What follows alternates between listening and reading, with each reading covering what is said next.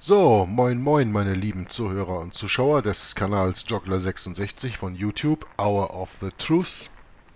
Hier gibt es jetzt den zweiten Teil des vierten Kapitels Die Lehre Wiedergeburt durch die Taufe, dass wir die Taufe eben mal abschließen können. Letztes Mal hatte ich ja nach einer knappen Stunde abgeschlossen, das war halt noch ein paar Seiten länger und deswegen habe ich, mich hab ich mich entschlossen, das in zwei Teile aufzuteilen. Hierzu jetzt also dann der nächste Teil über die Wiedergeburt durch die Taufe in Alexander Hislops von Babylon nach Rom im vierten Kapitel der erste Abschnitt und wir fahren fort im ersten Paragraphen auf Seite 127, wenn ihr mitlesen wollt. Wenn daher Bacchus mit mystischen Fächer dargestellt wurde, dann wollte dies besagen, dass er der Mächtige war, bei dem der Rest des Geistes war. Daher kam die Vorstellung von der Seelenreinigung durch den Wind. Dementsprechend beschreibt Vergil, den kennen wir ja schon, Vergils Einid, wie die Befleckung und Beschmutzung der Sünde entfernt wird. Zitat Dafür werden verschiedene Bußen auferlegt, und einige werden zum Bleichen in den Wind gehängt. Ende Zitat. So wurden die Priester Jupiters, der ursprünglich nur eine andere Form von Bacchus war, wie wir in Abbildung 35, die Miss Q hier freundlicherweise in die Lesung einblendet, sehen werden, Flammen genannt. Das heißt, die den Heiligen Geist atmen oder verleihen, indem sie ihre Anhänger anhauchen. Nun, hier gibt es noch ein äh, weiteres, eine kleinere weitere Bemerkung von mir dazu. Wenn ihr euch das Bild anseht, was ihr jetzt im Video seht, dann werdet ihr, wenn ihr gut hinseht, bemerken, dass Bacchus hier mit weiblichen Brüsten auch dargestellt wird. Nun, der Leser wird sich erinnern, dass Jupiter als Jupiter Puer, wie wir vorher schon gelesen hatten, beziehungsweise Jupiter, der Knabe, in den Armen der Göttin Fortuna angebetet wurde, genau wie Ninos in den Armen der babylonischen Göttin oder Horos in den Armen der Isis. Überdies wird Cupido, der als Sohn Jupiters Vejovis heißt, das bedeutet junger Jupiter, wie wir äh, von Ovid erfahren, wie in obigen Bild nicht nur mit dem Weinbecher des Bacchus dargestellt, sondern auch mit dem ihn umgebenden Epheukranz, dem Kennzeichen derselben Gottheit, wie wir vorher schon in diesem Buch gelesen hatten. In den Mysterien war nun der Speichel einfach ein anderes Symbol für eben dies. In Ägypten durch das das babylonische System ins westliche Europa gelangte, das ist doch mal interessant, wie das hier schön geschrieben steht, in Ägypten, durch das das babylonische System ins westliche Europa gelangte. Man sollte sich daran erinnern, dass es erst Babylon und dann Ägypten gab. Und Ägypten war mehr oder weniger das Tor in das Europa, nach Griechenland hinein, und nach Rom hinein. Also, in Ägypten, durch das das babylonische System ins westliche Europa gelangte, war der Name des reinen oder reinigenden Geistes Rek, R-E-K-H. Aber Rek bedeutet auch Speichel. Wenn man also gemäß dem mystischen System Nase und Ohren der Eingeweihten mit Speichel salbte, betrachtete man dies als Salbung der Eingeweihten mit dem reinigenden Geist. Dass Rom mit der Einführung des Speichels in Wirklichkeit ein chaldäisches Ritual kopierte, bei dem der Speichel das Sinnbild für den Geist war, geht offen aus dem Bericht über den Grund der Salbung der Ohren hervor, der in ihren eigenen anerkannten Taufformelbüchern zu lesen ist. Bischof Hay sagt, der Grund für das Salben der Ohren mit Speichel sei der, Zitat, durch die Gnade der Taufe werden die Ohren unserer Seele geöffnet, um das Wort Gottes und die Eingebung seines Heiligen Geistes zu hören. Ende Zitat. Klingt für mich ziemlich unbiblisch. Was aber, mag mancher fragen, hat der Speichel mit dem lieblichen Geruch zu tun? Das Wort Reck, das den Heiligen Geist bezeichnete und sichtbar durch den Speichel dargestellt wurde, war aufs Innerste mit Rik verbunden das wohlriechender Duft oder lieblicher Geruch bedeutet. Die Kenntnis der Mysterien verleiht auf diese Weise dem geheimen Ausspruch Sinn und eine logische Bedeutung, den der päpstliche Täufer an die zu taufende Person richtet, wenn dessen Nase und Ohren mit dem Speichel bestrichen werden, ein Ausspruch, der andernfalls überhaupt keine Bedeutung hätte. Zitat F. Feta mögest du dich auftun zu einem lieblichen Geruch. Ende Zitat.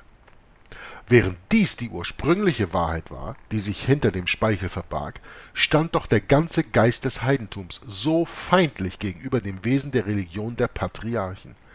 Er zielte in Wirklichkeit darauf ab, sie unwirksam zu machen und den Menschen völlig davon abzubringen, während er vorgab, ihr zu huldigen dass unter den Menschen im Allgemeinen die magische Verwendung des Speichels zum Symbol des derbsten Aberglaubens wurde.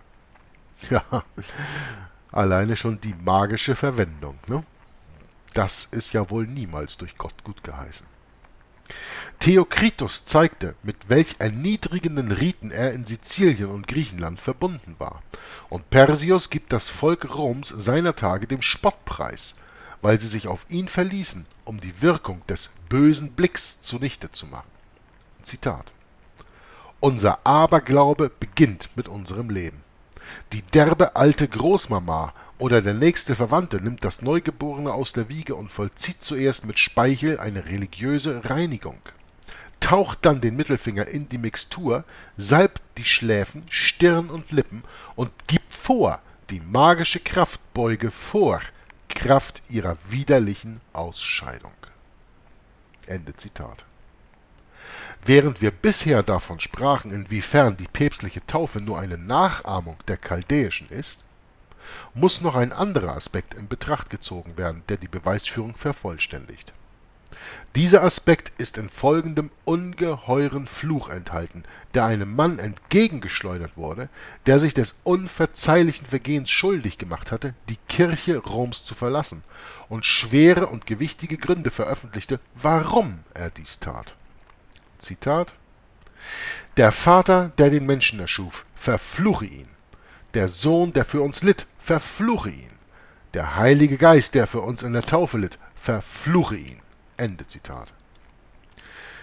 Ich will hiermit nicht zeigen, wie absolut und total ein derartiger Fluch dem ganzen Geist des Evangeliums entgegensteht.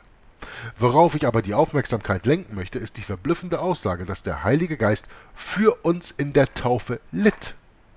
Wo in der gesamten Heiligen Schrift könnte man auch nur andeutungsweise eine Rechtfertigung für eine derartige Behauptung finden?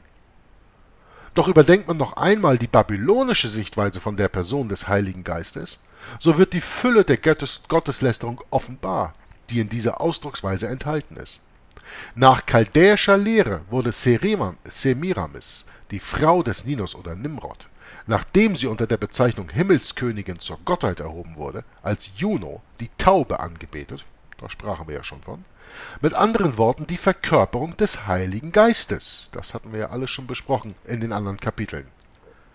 Als ihr Gatte aufgrund seines gotteslästerlichen Aufruhrs gegen die Majestät des Himmels getötet wurde, war dies auch für sie eine Zeit der Verfolgung. Die Bruchstücke alter Geschichte, die uns überliefert sind, berichten von ihrer Angst und ihrer Flucht, durch die sie sich selbst von ihren Feinden in Sicherheit zu bringen versuchte. In den Erzählungen der Mythologie wurde diese Flucht mystisch in Übereinstimmung mit dem dargestellt, was man ihrem Mann zuschrieb. Die Heldensänger schilderten, wie Bacchus von seinen Feinden überwunden in den Tiefen des Ozeans Zuflucht nahm, wie wir in Abbildung 36 hier sehen wollen, die Miss Q in das Video hier einblendet.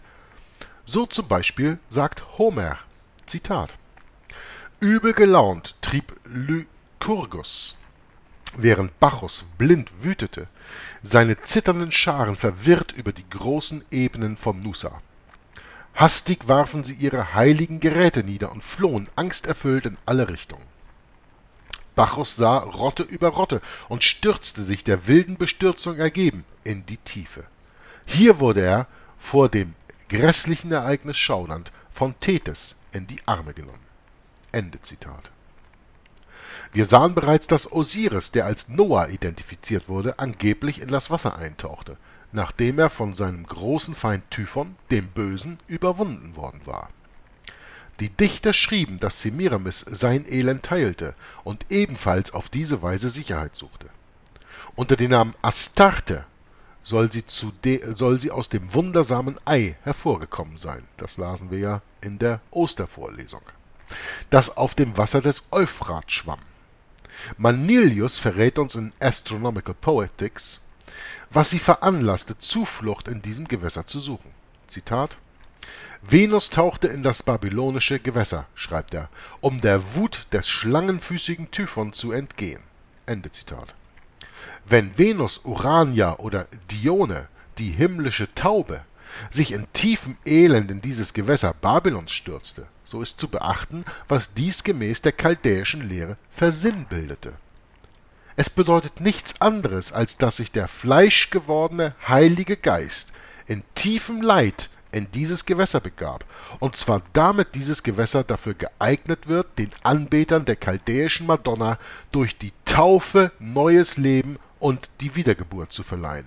Nicht nur durch den vorübergehenden Aufenthalt des Messias darin, sondern durch die ihm hierdurch verliehene Wirksamkeit des Geistes. Es ist nachgewiesen, dass die reinigende Eigenschaft des Wassers, das im heidnischen Denken sehr wirksam zur Reinigung von Schuld und zur Erneuerung der Seele war, teilweise daher kam, dass der Vermittlergott, der Sonnen- und Feuergott, während seiner Erniedrigung in diese Wässer, Gewässer tauchte und sich darin aufhielt, und dass das Papsttum heute diesen Brauch, diese Tradition beibehält der durch diesen Glauben aufgekommen war. Was das Heidentum angeht, sprechen folgende Auszüge von Potter und Athenäus deutlich genug. Jeder, so schreibt Potter,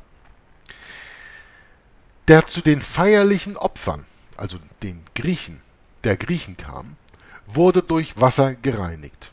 Zu diesem Zweck war im Allgemeinen am Eingang jeden Tempels ein Gefäß mit heiligem Wasser angebracht. Ende Zitat. Wie kam dieses Wasser bitte schön zu seiner Heiligkeit? Athenäus schreibt, Zitat, dieses Wasser wurde geweiht, indem man eine brennende Fackel vom Altar hineinlegte. Ende Zitat. Die brennende Fackel war das ausdrückliche Symbol des Feuergottes. Und unter dem Gesichtspunkt dieser Fackel, die so unerlässlich für das Weihen des heiligen Wassers war, können wir leicht feststellen, woher die reinigende Wirkung von dem Wasser des lauten, tosenden Meeres zum großen Teil kommt, das angeblich so wirksam war, um die Schuld und Befleckung der Sünde abzuwaschen.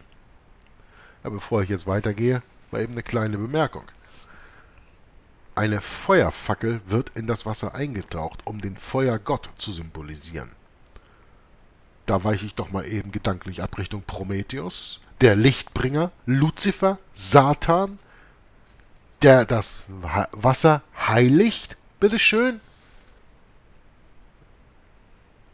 Ist doch ein leicht nachzuvollziehender Gedanke sicher. In einem bekannten Abschnitt sagt Euripides, Zitat, alle menschlichen Übel werden durch das Meer abgewaschen. Hm. Ja, so sagen sie das da. Nun, die gleiche Methode wird in der römischen Kirche verwendet, um das Tauwasser zu weihen. Das arglose Zeugnis von Bischof Hay lässt darüber keinen Zweifel bestehen.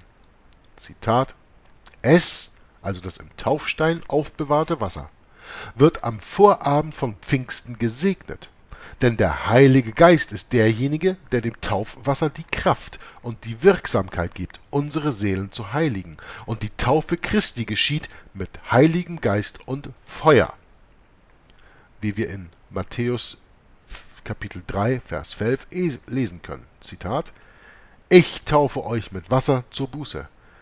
Der aber nach mir kommt, ist stärker als ich, so dass ich nicht gut genug bin, ihm die Schuhe zu tragen. Der wird euch im Heiligen Geist und mit Feuer taufen. Ende Zitat. Bei der Segnung des Wassers wird eine angezündete Fackel in den Taufstein gelegt. Endet die Aussage von Bischof Hay hier. Es wird hier offenbar, dass das erneuernde Taufwasser Roms in der gleichen Weise geweiht wird wie das erneuernde und reinigende Wasser der Heiden. Was nützt es dann noch, wenn Bischof Hay sagt, in der Absicht Aberglauben zu heiligen und Abfall annehmbar zu machen, dass dies getan wird, um, Zitat, um das Feuer der göttlichen Liebe darzustellen, die der Seele durch die Taufe mitgeteilt wird, sowie das Licht des guten Vorbildes, welches alle abgeben sollten, die getauft sind. Ende Zitat. Dadurch hat man der Sache ein schönes Mäntelchen umgehängt. Aber die Tatsache bleibt bestehen. Ein schönes Mäntelchen umgehängt. Kommt euch das so vor, als ob ich das schon mal gesagt hätte? Rom, das sich den Mantel des Christentums umhängt, um darunter seine politischen Ambitionen zu verbergen, weil Rom schon immer ein, eine politische Kraft war, die sich verbirgt unter dem Spirituellen, um euch die zivile Kraft, die temporalen Gesetze, die säkulären Gesetze dieser Welt aufzuzwingen? Dadurch hat man der Sache ein schönes Mäntelchen umgehängt, aber die Tatsache bleibt bestehen. Während die römische Lehre über die Taufe rein heidnisch ist, wird einer der wichtigsten Riten der alten Feueranbetung bei den Zeremonien, der päpstlichen Taufe, heute noch genauso praktiziert wie damals von den Anbetern des Bacchus, des babylonischen Messias. Da die römische Kirche die Erinnerung an den Feuergott aufrechterhält, der in das Wasser tauchte und ihm die Wirkung verlieh, gedenkt sie ebenfalls der Rolle, die die babylonische Göttin bei den Heiden spielte, als sie sich in die Gewässer stürzte, wenn sie sagt, der Heilige Geist leide für uns in der Taufe. Der Schmerz Nimrods bzw. Bacchus im Wasser war ein verdienstvoller Schmerz. Ebenso auch der Schmerz seiner Frau, in der der Heilige Geist wundersam wohnte. Die Schmerzen der Madonna als sie auf der Flucht vor Typhons Wut in diesen Gewässer war, waren die Geburtswehen, durch welche Kinder für Gott geboren wurden. Nicht für den Gott der Bibel. Ne? Und so kommt es, dass selbst im fernen Westen Calciviticlue, die mexikanische Göttin des Wassers und Mutter aller Wiedergeborenen, das Neugeborene von der Erbsünde reinigen und es, Zitat, es von neuem in die Welt bringen soll. Ende Zitat. Der Heilige Geist wurde in Babylon abgöttisch in der Gestalt einer Taube verehrt. In der gleichen Gestalt und mit der gleichen abgöttischen Verehrung wird der Heilige Geist in Rom angebetet. Wenn wir also im Widerspruch zu jeglichem Grundsatz der Heiligen Schrift lesen, dass der Heilige Geist für uns in der Taufe litt, ist nun sicher offenkundig, wer dieser Heilige Geist ist, der hier wirklich gemeint ist. Es ist niemand anders als Semiramis, die Verkörperung von Lust und jeglicher Unreinheit. Die Königin des Himmels.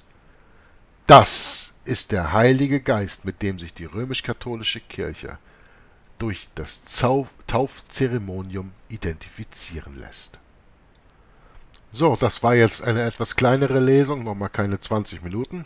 Aber es wäre mir mit 80 Minuten im ersten Video zu lang geworden. Von daher mal kurz ein entspanntes, ein entspannter kleiner Teil, um die Wiedergeburt durch die Taufe babylonisch zu erklären und darauf hinzuweisen, dass das nichts damit zu tun hat, wie man in der Bibel getauft wird. Wie ich ja am Anfang der Lesung bereits angeholt hatte, die biblische Wassertaufe, durch die wir als neugeborene Christen gehen, ist eine Bestätigung und ein Siegel dessen, dass wir bereits den Glauben als Geschenk von Gott angenommen haben und in diesem Glauben wiedergeboren sind und nicht wiedergeboren werden durch das Eintauchen und in Wasser und schon gar nicht durch das Besprenkeln mit Wasser, und schon gar nicht Kinder, Kleinkinder, die noch überhaupt keine Ahnung davon haben, was Gott ist und was das Evangelium ist. Wenn man die Kinder tauft, das ist pur unbiblisch. Wie alles, was die römisch-katholische Kirche macht. Muss ich halt nochmal eben darauf hinweisen. Also, nach diesem kurzen 20-minütigen Video melde ich mich ab. Joggler66, Hour of the Truth sagt Danke fürs Zuhören. Danke fürs Zuschauen und bis zum nächsten Mal, wenn wir in Abschnitt 2 Rechtfertigung durch Werke in Von Babylon nach Rom von Alexander Hislops monumentalem Werk von 1857 weiterlesen. Bis dahin, möge Gott euch beschützen und behüten auf all euren Wegen, Gott segne euch und Joggler66 meldet sich ab und sagt Tschüss.